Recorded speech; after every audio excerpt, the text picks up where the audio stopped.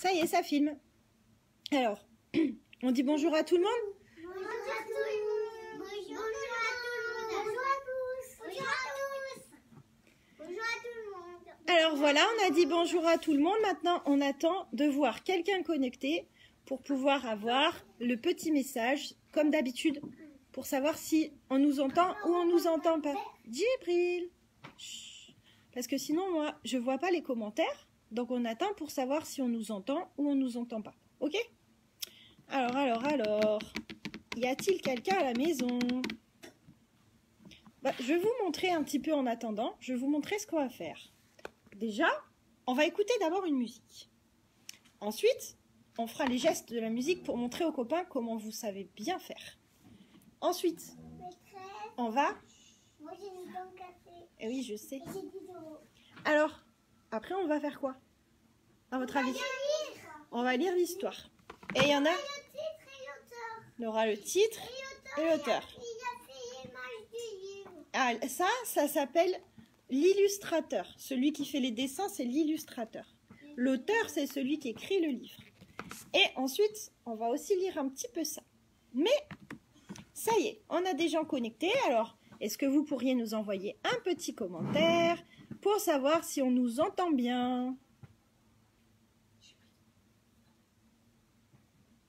Est-ce qu'on nous entend à la maison? Parce qu'ici, ils ont hâte de vous montrer tout ce qu'ils savent faire.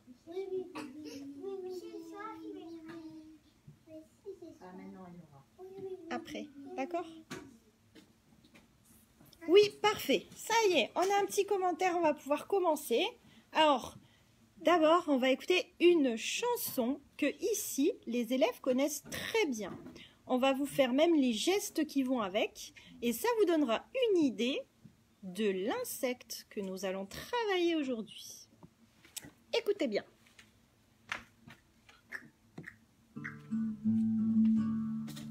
Vole, vole, vole, papillon. Allez, chantez Au-dessus de mon École, vole, vole, vole, papillon, au-dessus de ma maison.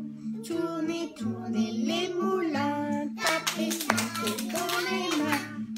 Allez, jolie main, madame, allez, jolie main que j'ai. Vole, vole, vole, papillon, au-dessus de mon école. Vole, vole, vole, papillon, au-dessus de ma maison. Vole, vole, vole, papillon, au-dessus de mon école. Vole, vole, vole, papillon, au-dessus de ma maison. Tournez, tournez les moulins, tapez, tapez dans les mains. Allez, jolie main, madame,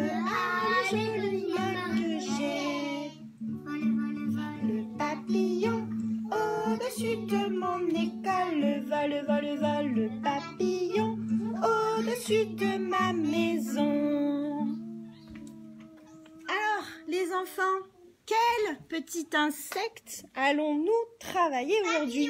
Bravo Le papillon Super Mais d'ailleurs, comment on arrive à reconnaître un insecte? Est-ce que vous le savez? Je sais. Alors dis-nous. Attends, Enora, elle va parler. Dis-nous, Enora. Alors, déjà, un insecte, c'est un animal. D'accord? Il a des ailes. Et il a des ailes. Pas toujours. On le. C'est un peu aussi. Alors là, oui, un papillon. Là, c'est un papillon, d'accord. Mais il y a plusieurs sortes d'insectes. Attendez, pas tous, pas tous en même temps. Chut. Et alors, donc Mélissa a dit une fourmi, ça vole pas. Et on met le doigt sur la bouche, s'il vous plaît. Voilà. Là, c'était Enora qui était en train de parler, donc on l'écoute jusqu'à la fin. Ben, on, a, on, on avait écouté la chanson, donc c'est normal qu'on on dit papillon, papillon. Eh oui, tout à fait. Alors, attends. Juste, je vous explique ce qu'est un insecte. Rania, s'il te plaît. Chut. Non, chut.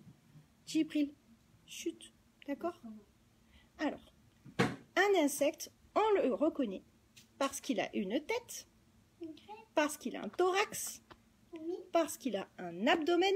Je vous montre après les photos. Et des antennes.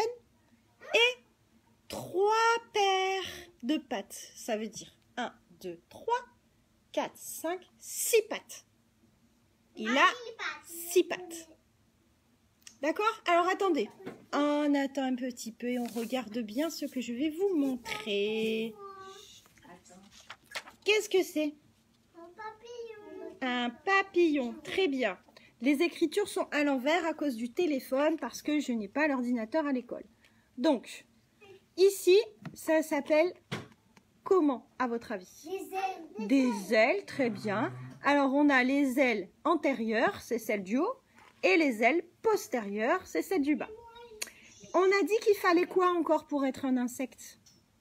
Une tête. Une tête. Elle est là, la tête. Pas tous en même temps. Alors, non.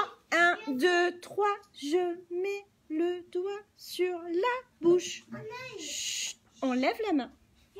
Et je dis, je donne la parole. Parce que si vous parlez tous en même temps, on n'entend rien, on comprend rien.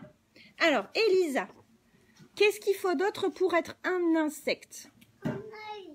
Alors là, des yeux, mais c'est pas obligatoire. Hein. Qu'est-ce qu'il faut de obligatoire? Djibril Six pattes. Bravo. On compte les pattes d'abord, Rania. Après, je te donne la parole. On compte les pattes. Un, deux, trois, quatre, cinq, six. Super. Il a bien six pattes. Rania, qu'est-ce qu'il faut d'autre pour être un insecte?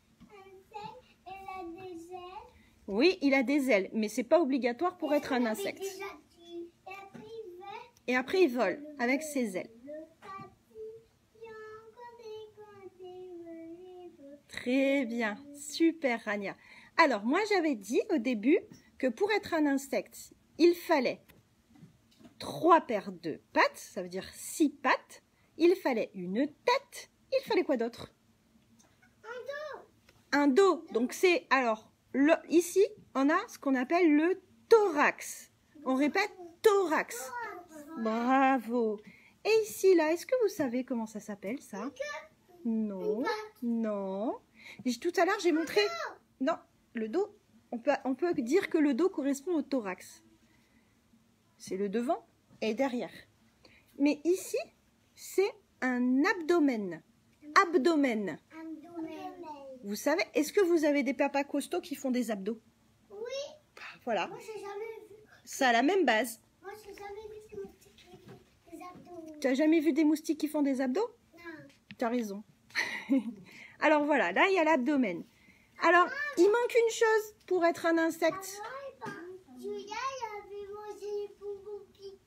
Ah, mamie Catherine. Ah, d'accord.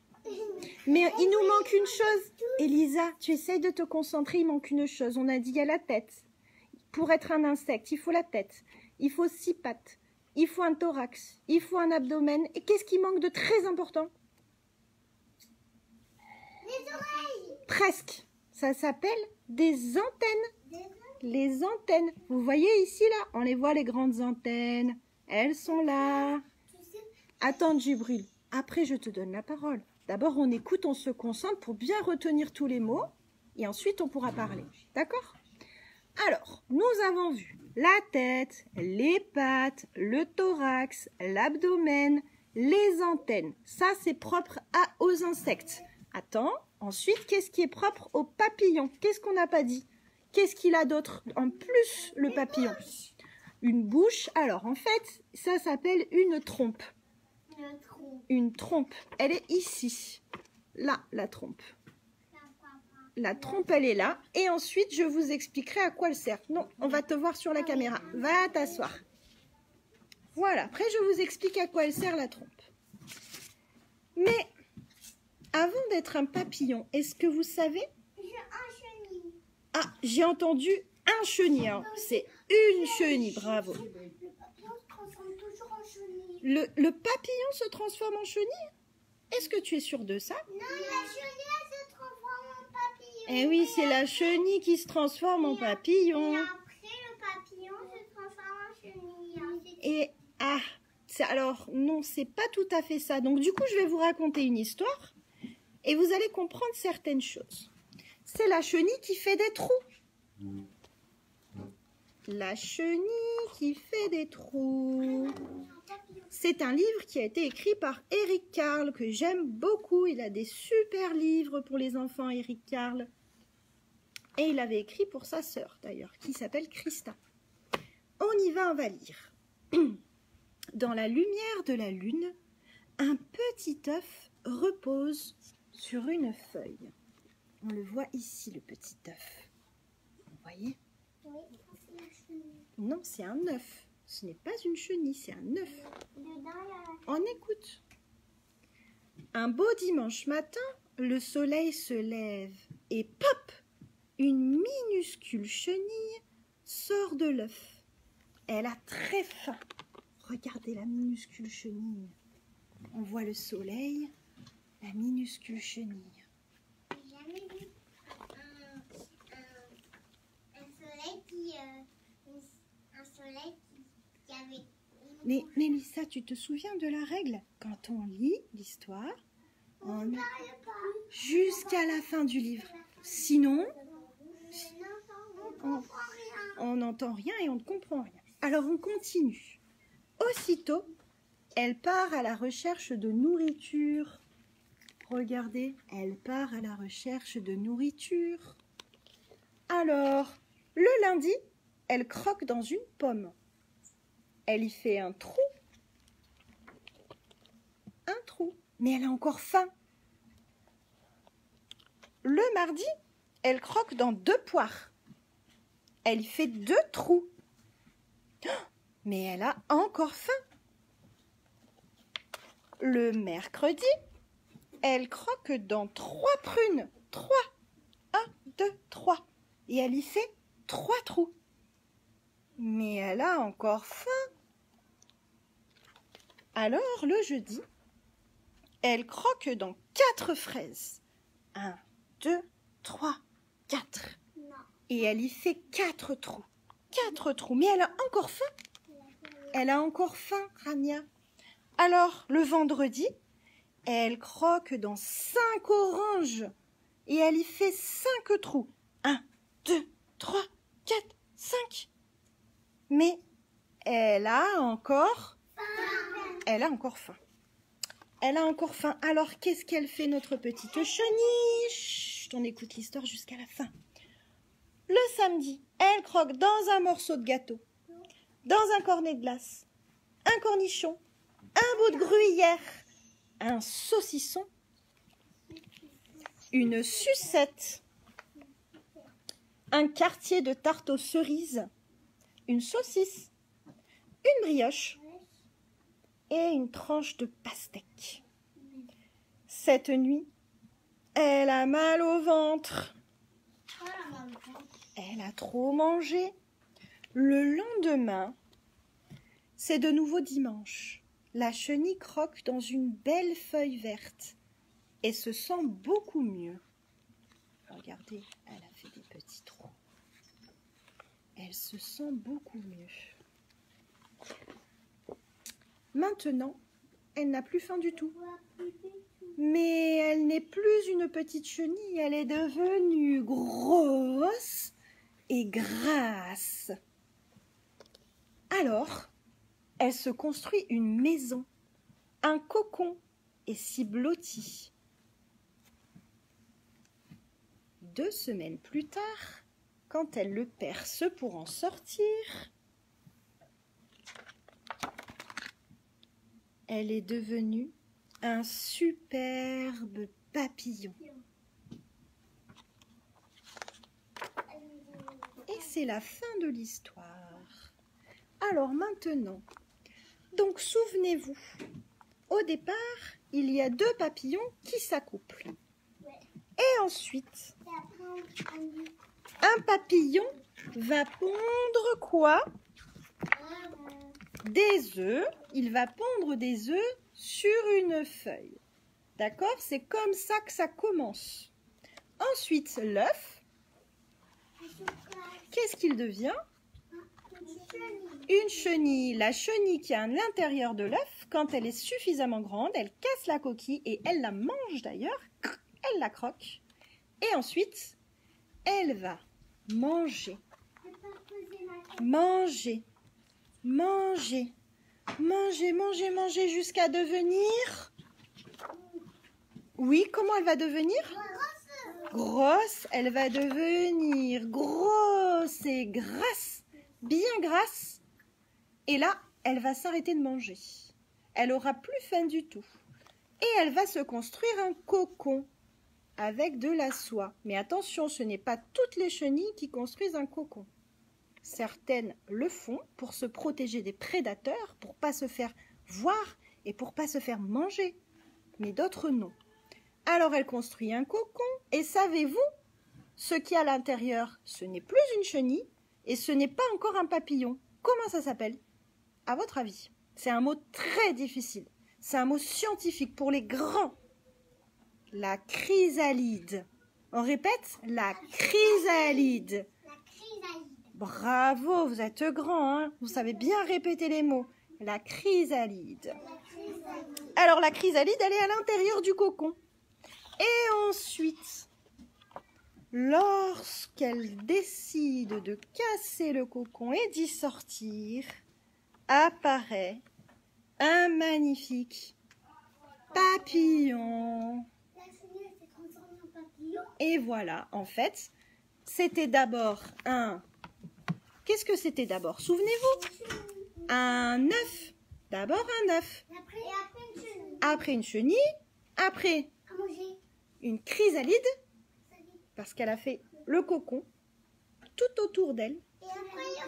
Et après, le papillon. Super. Alors là. Mélissa, Mélissa, regarde, après je vous la passerai l'image de plus près pour que vous puissiez bien la voir. Je la montre déjà à la caméra. Là, c'est toutes les étapes de... Attends, écoute Djibril. Là d'abord, nous avons la chenille, la chrysalide. Parce qu'on voit encore une partie du cocon et après on a le papillon qui au fur et à mesure sort de son cocon. Voilà. Et alors, je vous montre comment reconnaître une petite chenille. Alors vous voyez là, la chenille, hop, il y a différentes chenilles. Il y a des chenilles qui sont, qui vont devenir des papillons et d'autres qui en fait, on croit que c'est des chenilles, mais en, réalité ce sont des larves. Et comment on peut reconnaître une larve d'une chenille? C'est facile. En comptant les pattes. Il y a des vraies pattes et ce qu'on appelle des fausses pattes. Alors je vous montre. Voilà. Ici, ce sont les vraies pattes. Et alors, il y en a, évidemment, combien on avait dit tout à l'heure? Six. Voilà. Il y en a trois d'un côté, trois de l'autre. Ça fait six pattes. Et le reste, ce qu'on regarde ici, ce sont des fausses pattes. Si on arrive, donc, à compter le nombre de vraies pattes, Vincenza, on s'assoit correctement, s'il te plaît Allez, et Nora aussi, Rania aussi. Oui, mais bon, on peut être assis. Vincenza aussi, j'ai dit, et Rania aussi, et Nora aussi. Alors, Djibril, il a dit quelque chose de très intéressant. Il a dit on peut pas la reconnaître si on n'a pas fini de compter ses pattes. Et oui. Et elle s'enfuit. Oui. Eh oui. Eh oui, mais ça, en général, ça va pas très vite une chenille. On a le temps de compter les pattes. Alors voilà. Ensuite, je vous montre cette image. Alors, qu'est-ce que c'est les enfants, ça Ah, mais c'est beau. Ben non. On est en train de parler de la chenille, de la chrysalide, du cocon, de l'œuf. Ah voilà, bravo Djibril, ça c'est un cocon. Vous voyez à quoi ça ressemble un cocon? Je le montre un peu à toute la classe. Non, non, on reste assis. On reste assis parce que on n'a pas le droit de se montrer à la caméra. Vous voyez à quoi ça ressemble un cocon? Voilà à quoi ça ressemble un cocon. Et ensuite, alors, qu'est-ce que c'est que ça? Du coup, La chrysalide. la chrysalide, parfait. Alors c'est plus la chenille là justement et c'est pas de l'œuf justement, c'est du cocon en fait, c'est la chrysalide donc qui s'est transformée en papillon qui est en train de casser le cocon pour en sortir. Voilà. Alors, on regarde une dernière fois notre petit dessin les enfants. Et on se souvient, alors, que faut-il pour être un insecte? Un insecte. Attendez, chacun... Non, alors, si vous parlez tous en même temps, moi je comprends rien et à la maison, ils entendent rien non plus. Alors, chacun son tour, je donne la parole. On va commencer tout à gauche par Mélissa. Alors, qu'est-ce qu'il faut, Mélissa, pour être un insecte? Ouh, ça baille, ça baille, ouh, ça baille. À se décrocher la mâchoire. Attends, chacun son tour, Inora. Il faut des pattes. Combien de pattes Six pattes, bravo. Elisa maintenant. Qu'est-ce qu'il faut d'autre pour être un insecte Une tête, bravo. À toi, Djibril. Non, c'est pas forcément. Tous les insectes n'ont pas d'ailes. Alors, Enora. Alors, comment il s'appelle le dos justement ici? Non. Le dos, comment il s'appelle? Le thorax. Thorax. Super. On continue. Vincenza, est-ce que tu sais si s'il faut quelque chose de plus? On a dit six pattes, une tête, un thorax. Non, un thorax, pas une tomate. Thorax. Ça commence pareil, hein, mais. Alors ici, qu'est-ce que c'est les enfants?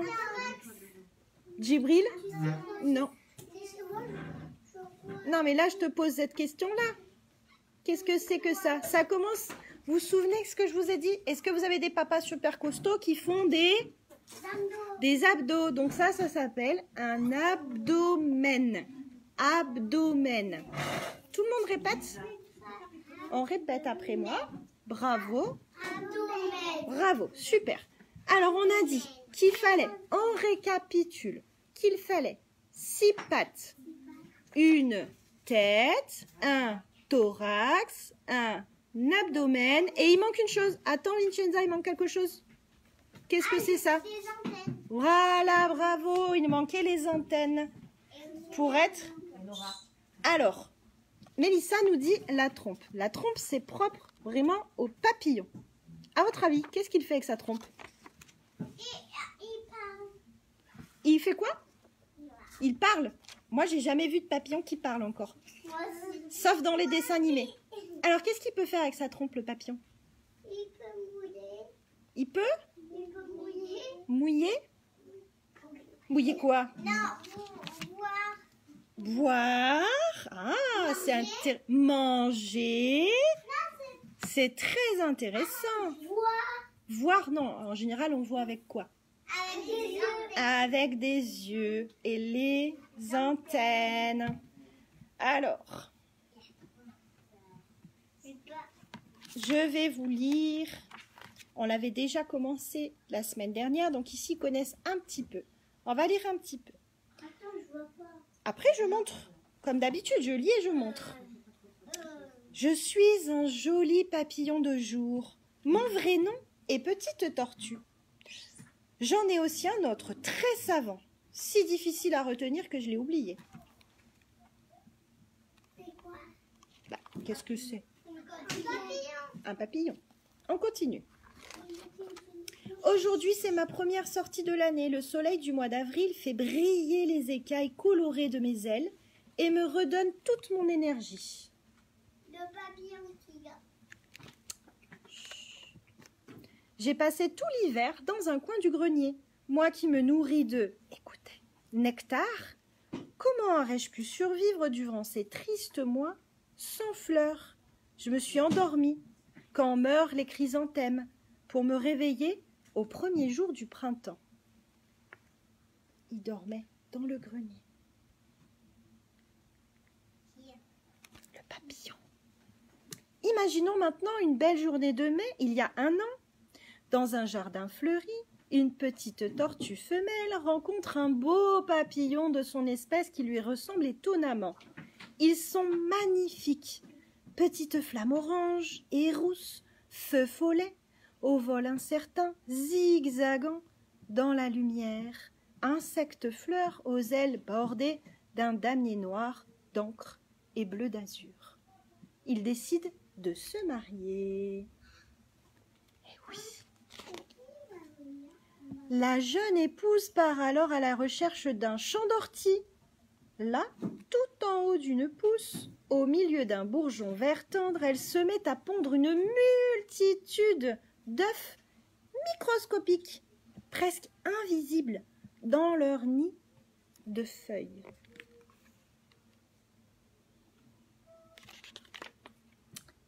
Sa tâche achevée, elle ne s'occupe plus de rien. La nature fera le reste, grâce aux nuits trop froides, à la grêle, à la tempête, aux oiseaux gloutons, à la pluie assassine.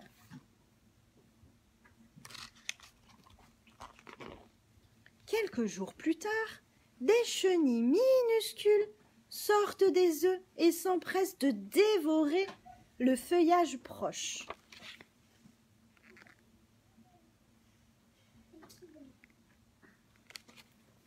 Peut-être on peut fermer la porte. Merci. À ce régime, les petites ogresses grossissent, grossissent à vue d'œil. Certaines nuits, quand leur peau noire à bandes jaunes, devenue trop étroite, se met à craquer, elles s'en débarrassent comme on enlève une combinaison de plongée. Apparaît alors une nouvelle enveloppe, plus grande et plus souple. Elles changent de peau parce qu'elles sont trop grosses. Les chenilles grandissent par à coups, montrant chaque fois un peu mieux la petite tête ronde noire et vernie, le corps velu, joliment rayé, les trois paires de pattes, ce qui fait donc six pattes, et les huit ventouses. Des ventouses qui permettent toutes les acrobaties. Soudain, tout se désorganise dans la petite communauté. Nos bestioles cessent de manger et chacune part de son côté à la recherche d'un abri. Shayness, à la recherche d'un abri. Elles se suspendent la tête en bas, comme autant de points d'interrogation à l'envers. Immobiles, accrochées, ça et là, sous les feuilles et les branches. Où sont les chenilles si remuantes qui au moindre bruit redressaient vivement la tête? Où sont-elles? Accrochées, et elles ne bougent plus, elles ont arrêté de manger. Deux jours sans bouger, deux jours. Tout à coup, leur peau se fend, et une dernière mue laisse apparaître un joyau, un bijou précieux, un pendentif brillant qui s'appelle la chrysalide dorée. On croit rêver. Et si ce n'est pas de l'or, c'est bien imité.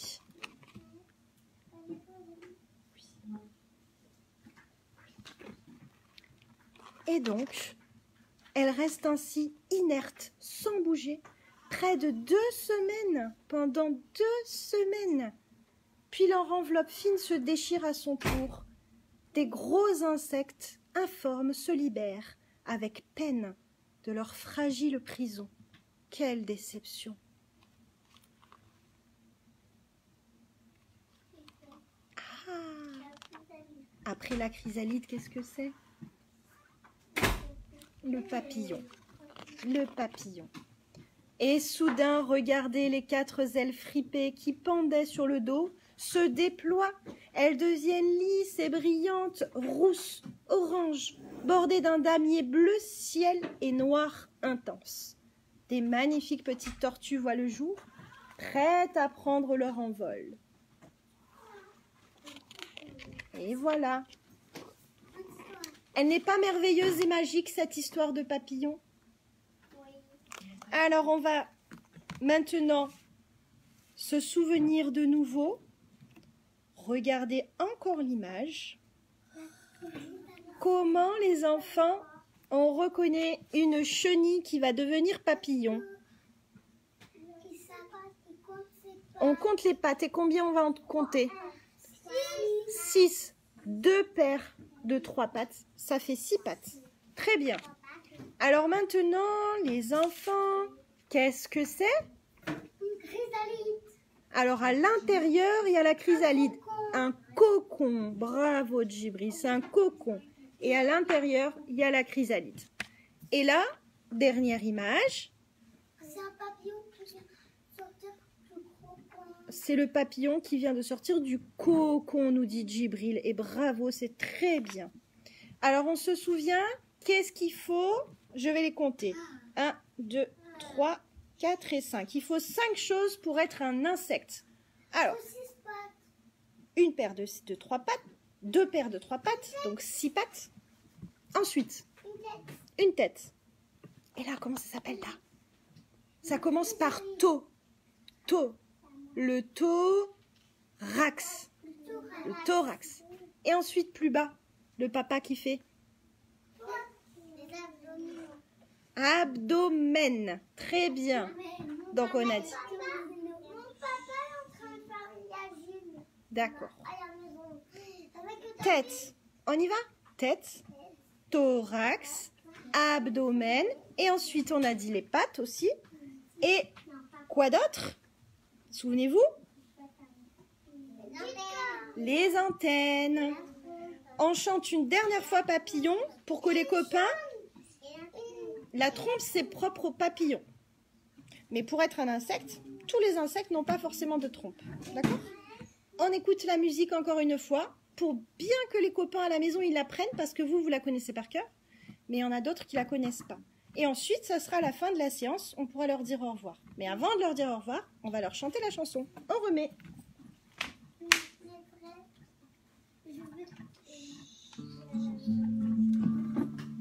Vole, vole, vole, papillon, au-dessus de mon école.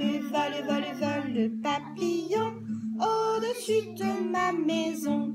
Tournez, tournez les moulins, tapez, tapez dans vos mains. Allez, jolie main,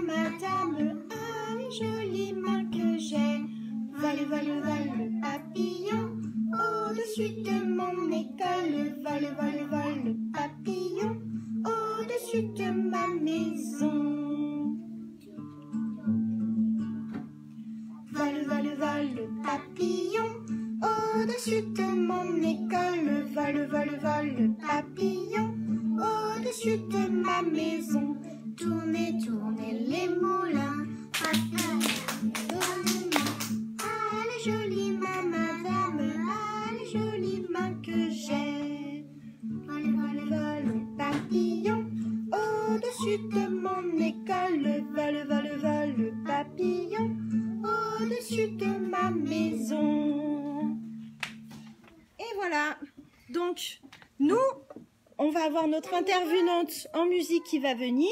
Mais lundi, ou peut-être cet après-midi si on a le temps, on apprendra à dessiner un papillon. Et ensuite, euh, l'année prochaine, parce qu'à cause du confinement, on n'a pas pu le faire, mais l'année prochaine, on pourra même observer, écoute Djibril, on pourra observer l'œuf qui devient chenille, qui devient chrysalide dans son cocon, qui devient papillon. On pourra les observer parce qu'on va essayer, ce que j'avais prévu cette année, de faire un élevage dans la classe. Mais avec le confinement, c'était pas possible. Alors peut-être l'année prochaine. Maintenant, on dit au revoir aux copains. Au revoir les copains. On. Voilà, on envoie des bisous. Et on attrape les, les bisous au vol, comme les papillons. Oh, on se les met sur la joue, comme ça. Voilà. Au revoir les copains. À bientôt. Au revoir tous les Au revoir. On dit au revoir à Ya qui était là. Au revoir Asma. Au revoir euh, Iba. Et au revoir à tous. Bye. Bye bye.